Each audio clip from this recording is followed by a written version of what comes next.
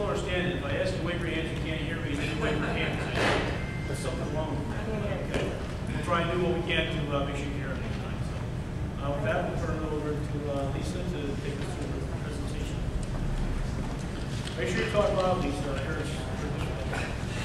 I'm going to give a brief uh, overview of property Tax cap chapter 97 of the laws of 2011. What we know, this begins the 2012-13 budget. It's in effect through 2016-17. Most contingent budget requirements are still in place. New York State has a property tax cap, not a 2% cap. That's important. The law does not cap anyone's tax bill, and the actual tax levy increases will vary from district to district. The formula allows certain expenses to be exempt from the cap, which allows the total tax levy increase to be greater than the perceived 2% cap. Voters are approving the budget, not the tax levy. The consequences of a contingent budget are much more severe. The real cap is zero. Many questions are still unanswered. Do we still vote on a budget? The public still has to vote on a budget. The Board of Ed can propose a budget that requires the tax levy before exemptions at or below the tax levy limit prescribed by law. This requires a simple majority of voter approval. The board can also propose a budget that requires the tax levy before exemptions, which is above the tax levy limit. This requires 60% voter approval. Also required is a statement on the ballot indicating the required tax levy before exemptions exceeds the tax levy limit. If the budget is not approved by the voters by the required margin, the board may resubmit the original budget or revised budget to the voters on the third Tuesday of June. Or the board can choose to adopt a contingency budget, which would be a zero percent increase in the tax levy.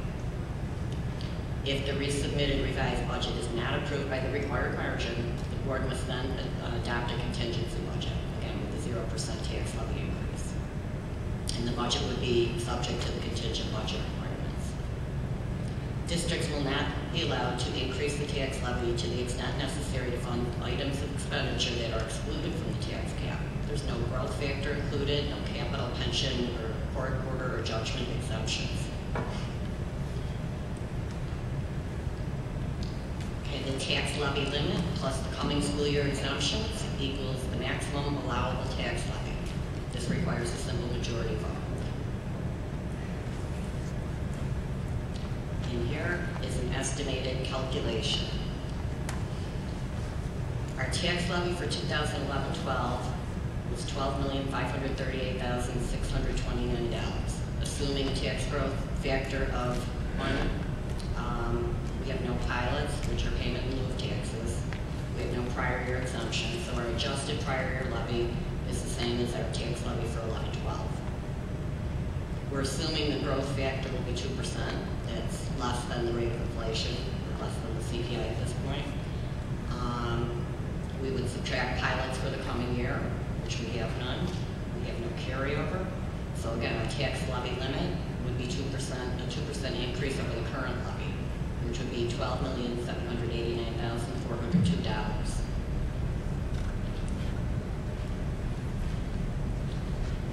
The us some exemptions. Um, we have a capital tax levy exemption, which is about $211,000, and we have pension exemptions, and that totals $64,000. So our total estimated excep- exemptions are $275,000. Just want to know this. You don't get exempt for statute full amounts, is that right? You don't get some- With the capital tax, yeah, with the capital tax levy, um, we take our budgeted capital expenses, and then we have to subtract out our estimated state aid. So it's a net exemption. And then with the pension costs, there's an excludable percentage. It's 0.6 percent for ERS which is the employees' retirement system, and it's 0.49 percent for the teachers' retirement system. Those percents vary by year. They will vary by year there, there is a calculation involved and the state gives us the numbers. Mm -hmm. Absolutely. Okay, two slides ago I showed you our tax levy limit, 12789000 which was a 2% increase. When we add back the school year exemptions of 275000 we get a maximum allowable levy of $13,064,659. This is a four point two percent increase. So it's a lot different than people may be thinking. Again, what we, the example I just showed you is an educated estimate. Um, This will change as new information, and clarification is received. What we don't know. Tax base growth factor. This is supposed to be provided to us by the Office of Real Property Tax Services by February 15th. With the capital exemptions, we're still waiting for clarification of the definition, which is the tax levy associated with budgeted expenditures resulting from construction, acquisition, reconstruction, rehabilitation, or improvement of school district capital facilities or capital equipment, including debt service and lease expenditures and transportation capital debt. We don't know if BOCES capital expenses are included. We don't know if budgeted equipment items and we're waiting for clarification from the OSC um, whether this exemption will actually apply in 1213.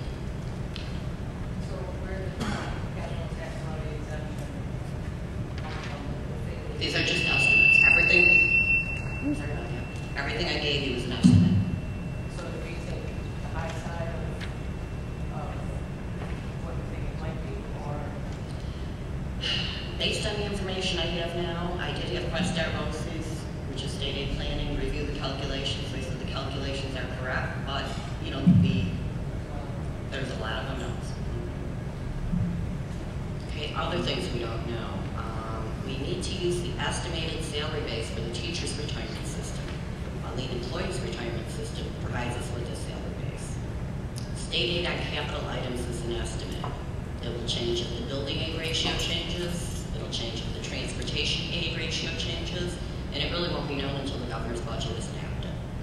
These unknowns may greatly impact the estimates provided, and we do not know what the language or the, of the legal notice of the proposition will actually look like.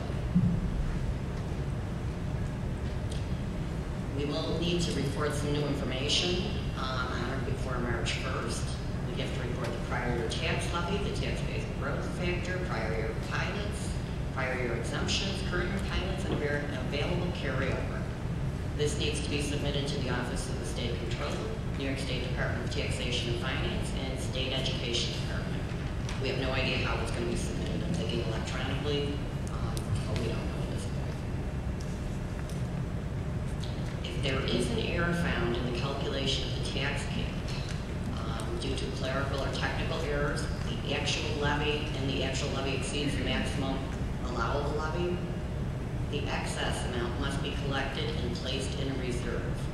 And then excess amounts plus any interest earned must be used to offset the tax levy in the following year. So it's really important to be careful with calculations.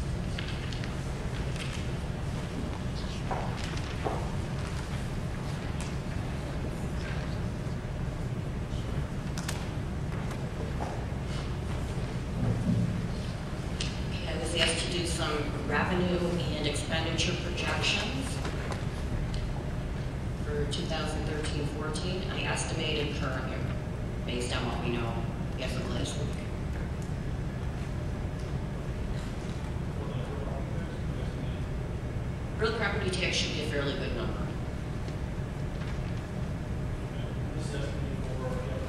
For, yeah, for the current year running.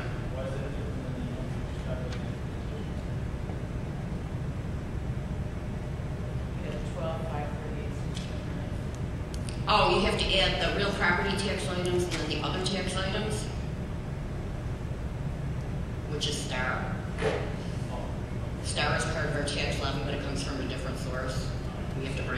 Separately. in fact, there's a couple extra dollars included in there for penalties and interest, which we receive for late payments. Okay, non-property tax items, um, which would be sales tax, one point five million, that's what we anticipate to receive. Charges for services, uh, right now it's both, rent.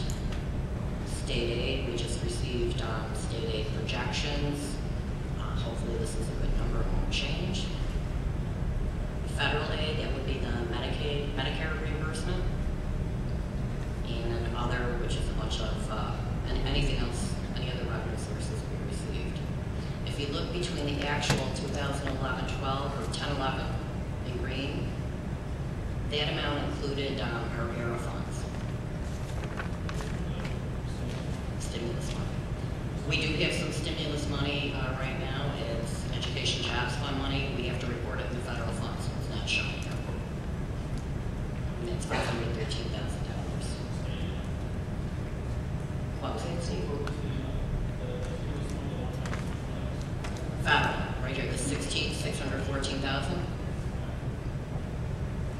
Um, then we have expenditures, uh, based on what was encumbered when I did these projections. Instructional salaries, nine point one million. Non-instructional salaries, two point nine million. Equipment and capital outlay, two hundred sixty-four thousand. That includes the amounts encumbered for bus purchases. Um, contractual and other, it's about four point seven million. Debt service, I'm sorry, employee benefits, five point three. Debt service, six hundred and two thousand dollars. And interfund transfers, um, which again is priority. which you can see.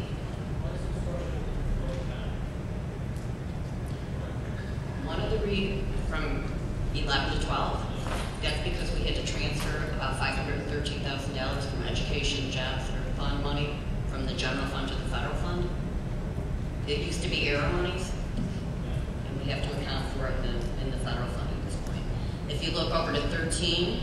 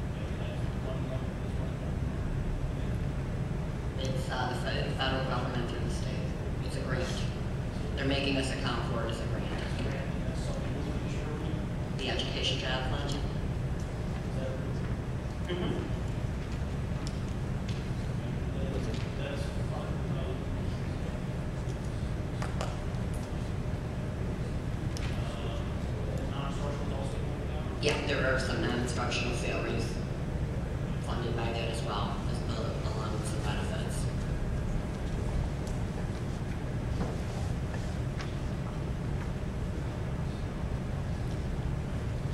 Okay, so as you can see, our total anticipated expenditures exceed our revenue by four hundred eighty-one thousand dollars.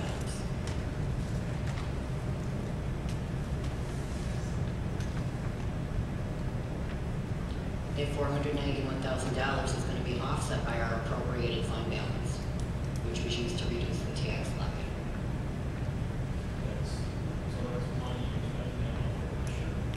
Well, we have two Yeah, point two Lisa, we can hear you answering, but we can't hear anybody else asking.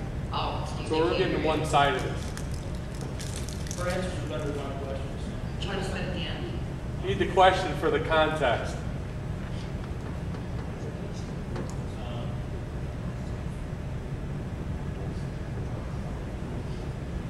The appropriated fund balance here of 2.2 million in green, that was used to offset the 1112 tax levy. This 491,000 would be reducing this 2.2 million, leaving a balance of, um, estimated balance of 1.7 million at the end of 1112.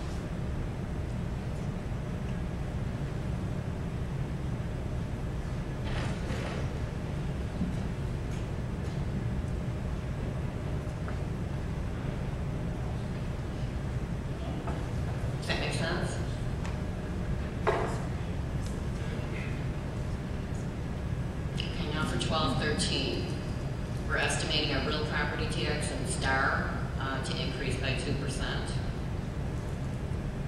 We're estimating our sales tax to stay the same, charges for services stay the same. I'm estimating state aid will be reduced by three percent. And again, I have, right now, it's a, a crapshoot, I just, we have no good information at this point. Um, I have, it may be reduced because we've had a decrease in enrollment. Um, Aid, we're expecting a one percent increase, and interfund transfers, another one percent increase. So we're estimating our revenue at about twenty-four million dollars for next year. And again, these numbers will change, they're just estimates of what we knew when these were prepared. Our instructional salaries, as I said, we added the educational jobs fund money back in here, those salaries funded by that, um, along with a three percent increase. So that's about nine point seven million. Our non-instructional salaries, we once again added the salaries that are funded by the education jobs fund and added a three percent increase on here. Equipment capital outlay, we're not anticipating purchasing buses with, uh, any budgeted monies or or fund balance. So I'm assuming a seventy-five percent reduction in equipment to sixty-six thousand dollars. Employee benefit, oh, contractual and other, I'm assuming a one percent increase, four point seven million. Employee benefits, I'm assuming a ten percent increase. Debt service, this number is from our debt service schedule. And interfund transfers, it is, once again, some debt service numbers, as well as a transfer to federal funds for a summer handicap program. So, again, projected, um, expenditures are about twenty-six million dollars, leaving a deficit of one point eight million.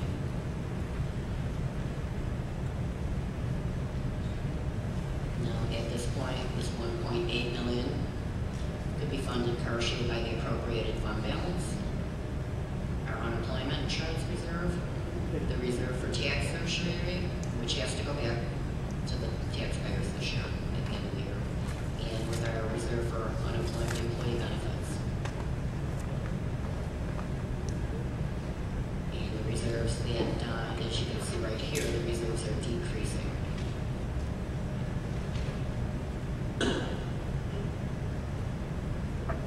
that would still leave, if we had to do that, that leave about two hundred thousand dollars in our appropriated fund balance and one point one million in our unrestricted fund balance.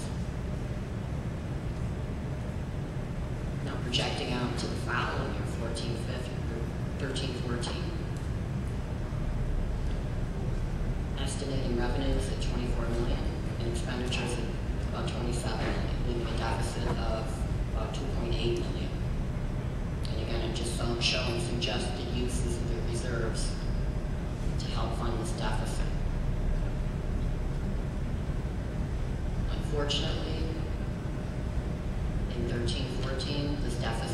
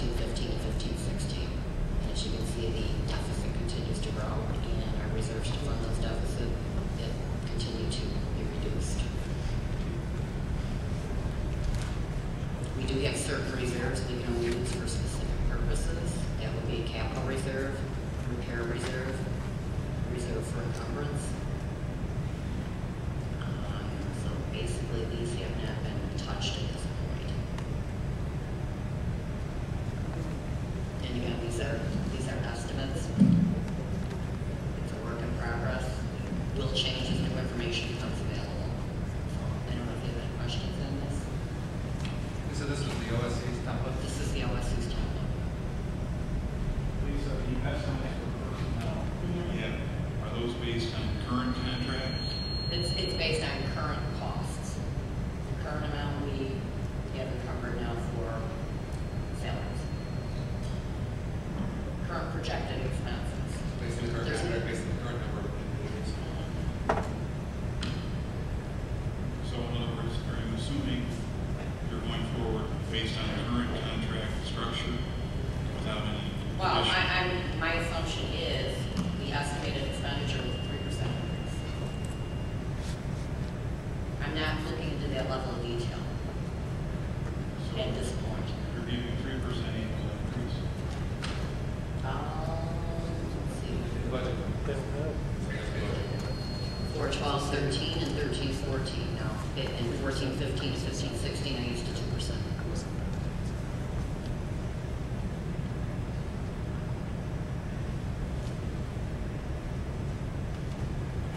Native American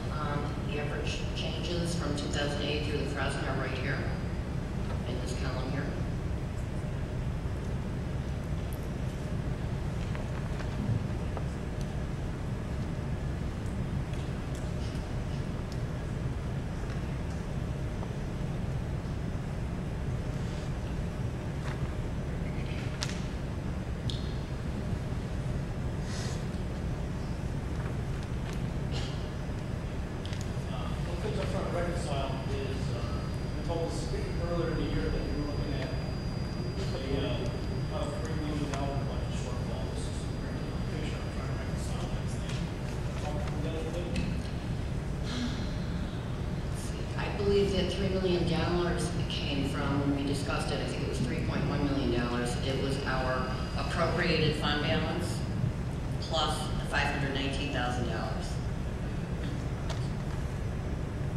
And that came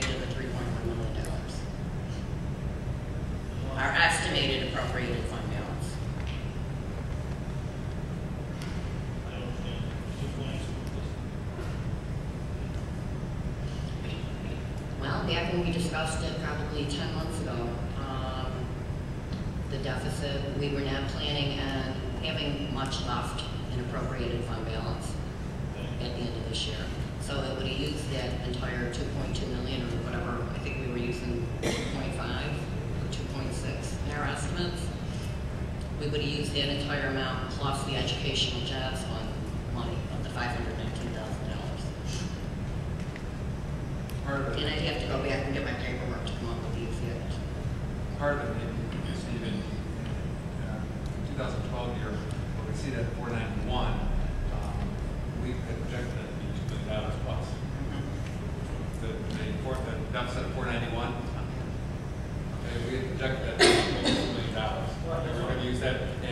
based on the, based on the numbers that this is coming up with now, we're out of the two million, we're actually only going to have to use four ninety-one. And again, that will change as we go through the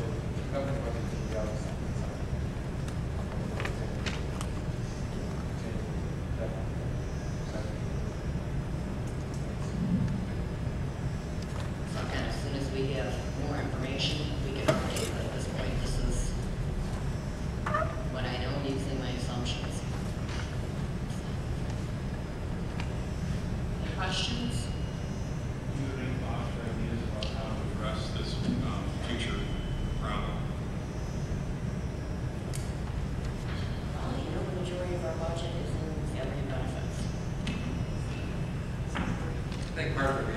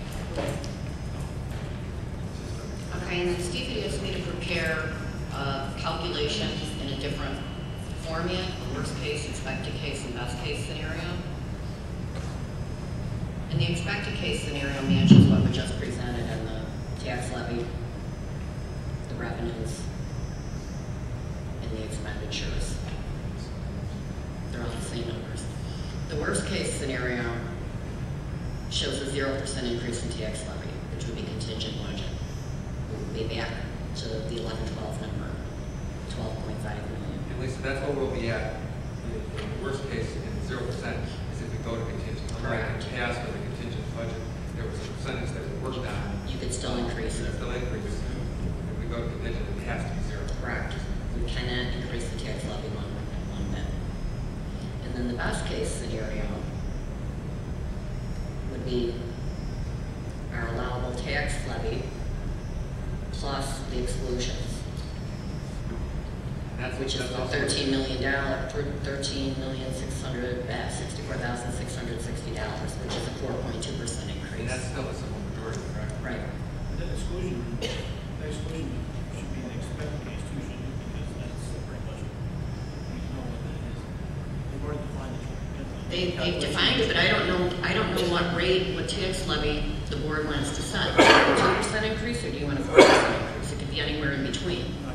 So that, that's why I did it the way I did it. Okay, so you can see with the change in tax levy, how our revenues change. It can be anywhere from twenty-three point seven million to twenty-four point three million.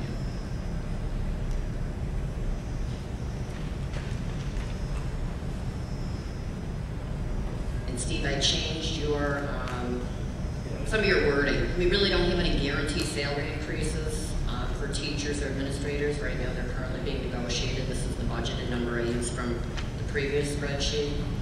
Um, The same with the non-teaching staff. Yeah, I was, I. I wasn't sure what just to show. Okay. That- that question.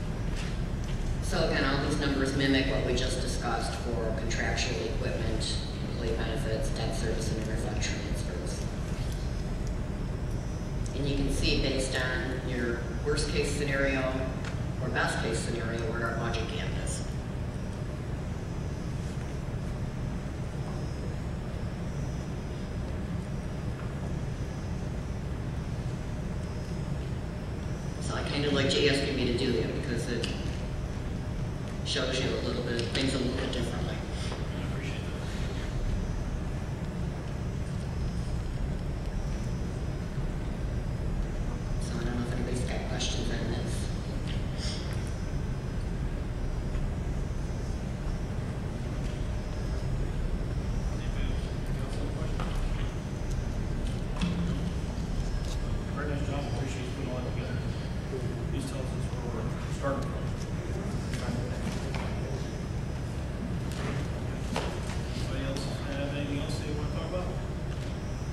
I've got a letter right now.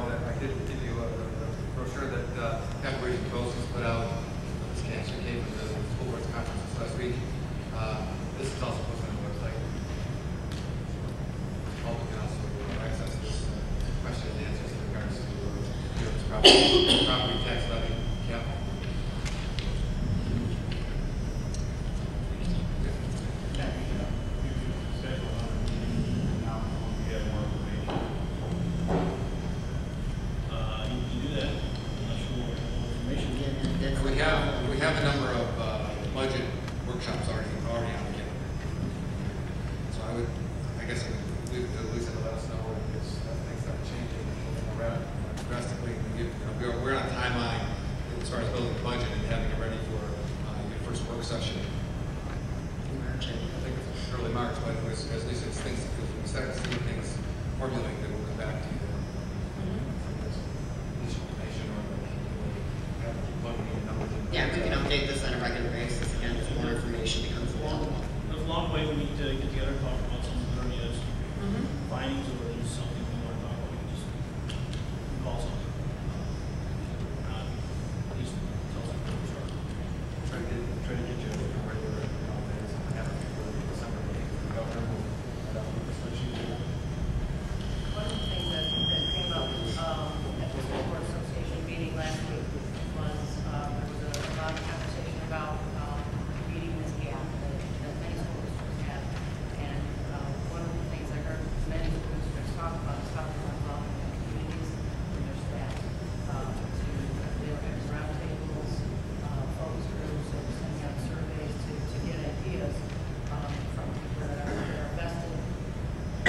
we cannot hear a word.